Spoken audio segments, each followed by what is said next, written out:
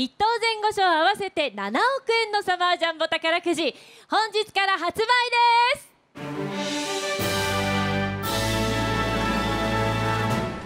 なんか毎年見てますけどそうね。やっぱまだ見慣れない、ううん。ん、えー公園を作るです。いろいろ考えた結果やっぱり結構公園って僕の中で結構思い出に残ってることが多くてえ自分も家族がいるんで、はよく行くこともあるんで、まあ、誰かの思い出が作れる場所になればいいなと思って、はい、公園にしました。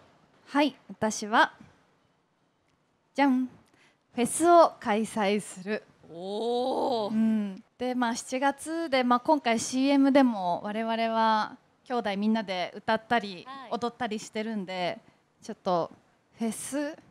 ジャンボ兄弟主催のフェス？おやれたら楽しいんじゃないかなって思ってます。なんだろうジャンボ兄弟ならではででもやっぱ兄ちゃんにも歌ってもらおうかな。絶対嫌がるだろうな。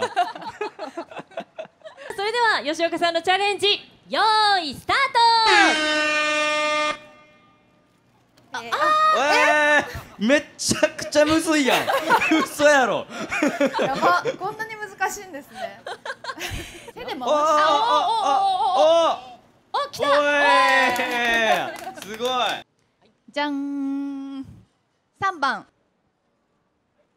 じゃんはい、はいこの夏したいことはすでに私しちゃったんですけどその時にハマったことの一つであのサップデビューしましてちょうど去年写真集はい。で海に行った時にサップに乗るのを撮影したんですけど、ちょその時はあのあんまりこう動かずに、ただこうひっついてたんですよサップに。はい。で今回プライベートでちょっとサップをやりましてめちゃくちゃ楽しくてちょっとこ近日中にももう一回サップをえしたいなと思ってます。長男の妻夫木さんですかね。ーなんかまあ世代的にこうウォーターボーイズとわかかる69とかこう夏映画みたいなのは見てたんで結構妻夫木さん自体もこうテンションが高くてうん夏っぽい男なんでね。はい。確かに。